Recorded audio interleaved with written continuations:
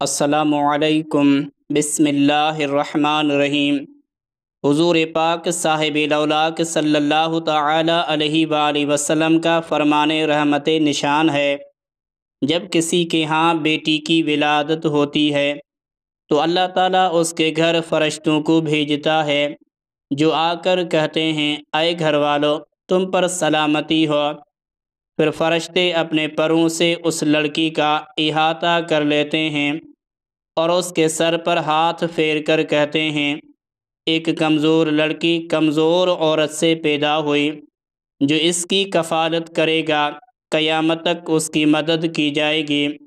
सरकार मदीना राहत कल्ब सीना सल्लल्लाहु ताला अलैहि वसल्लम ने इरशाद फरमाया, जिस शख्स की एक बेटी हो वो उसको अदब सिखाए और अच्छा अदब सिखाए और उसको तालीम दे और अच्छी तालीम दे।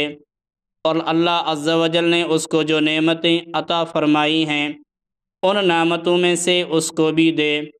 तो उसकी वो बेटी उसके लिए दोजक की आग से सितर और हिजाब, यानी पर्दा होगी। दो जहाँ के ताजवर सुल्तान बहरोबर सल्लल्लाहु ताला अलैहि वसल्लम का फरमान आफ़ियत निशान है।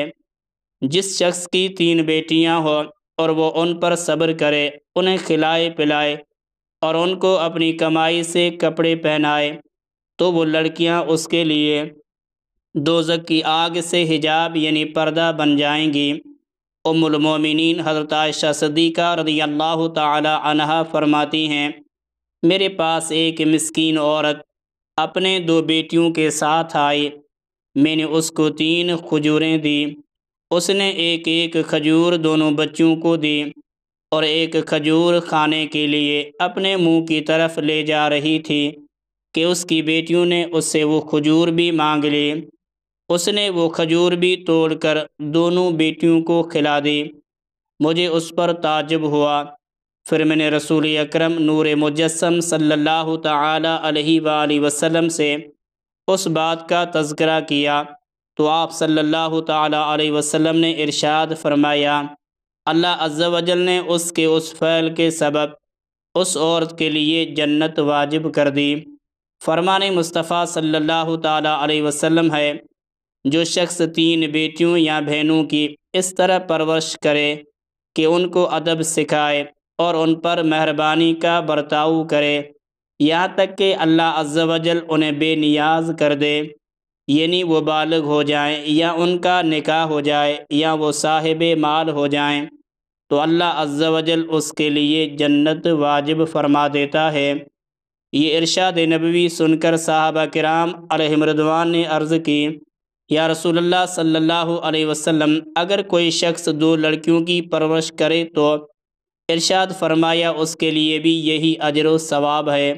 यहाँ तक कि अगर लोग एक का ज़िक्र करते तो आप सल्लल्लाहु अलैहि वसल्लम उसके बारे में भी यही इरशाद फरमाते। इस्लामी बहनों के लिए मकाम शुक्र है कि एक वक़्त वो था जब दुनिया में उनका पैदा होना आर और ज़िल्लत रसवाई समझा जाता था।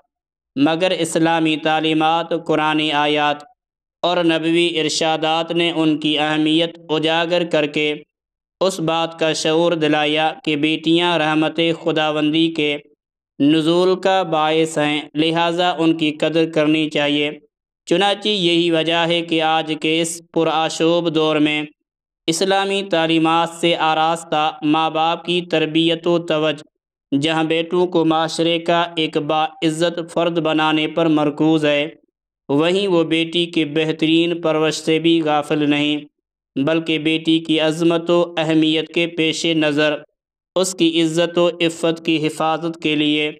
इस्लाम ने जे उसकी तरबियत के सुनहरी मदनी फूल अता फ़रमाए हैं, वो उन्हें मता व जा समझते हैं।